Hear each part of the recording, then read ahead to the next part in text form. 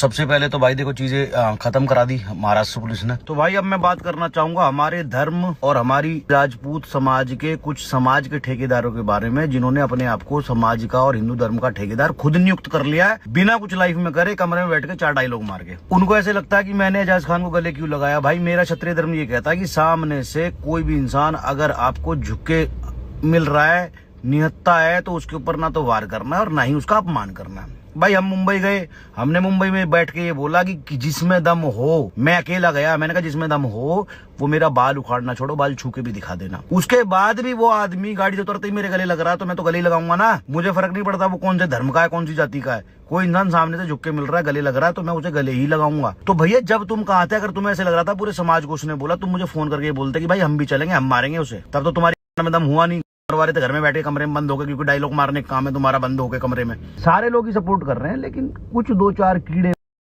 जो ज़िंदगी में कभी जो दूसरे गाँव में न गए हूँ, दूसरे मोहल्ले में न गए हूँ लड़ाई करने। बाहर आया बंदा, गले लगा, बात हुई। बात के बाद उसने अपनी बात रखी, हमने हमारी रखी भैसा भासी हुई। तो भाई वहाँ क्या हुआ होगा कि वहाँ पुलिस को आना पड़ा। कुछ तो ऐसा हुआ होगा। हर चीज़ कैमरे में रिकॉर्ड नहीं हुई। कैमरे हमारे बंद करवा दी भाई कोई रिकॉर्डिंग मत करो इस चीज़ की। पुलिस आई, पुलिस ने बोला कि भाई या तो तुम अभी यहाँ से थाने चलो, या दोनों गले मिलो।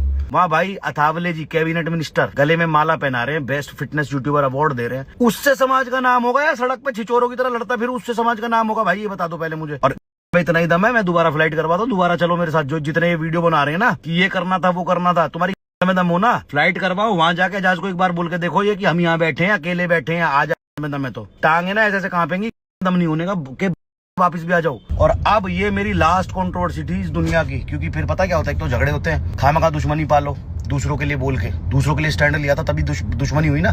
फिर सबके मुँह लगो सबसे गालियाँ भी सुनो फिर कमेंटों में भी उल्टी सीधी चीज़ें पढ़ो।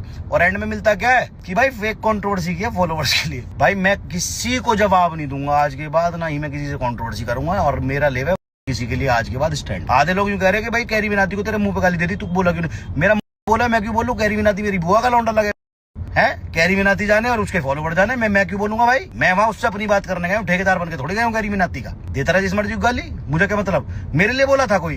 कोई यूट्यूबर मेरे लिए बोला था? और जो ये ठेकेदार बन रहे हैं, समाज के बहुत बड़े धलेड़ बन रहे हैं, उनसे भी कह दूँ, तुम्हारी दम हो ना?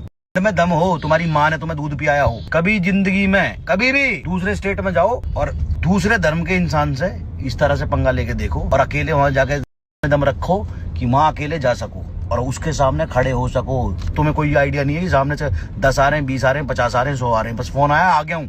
आ जा।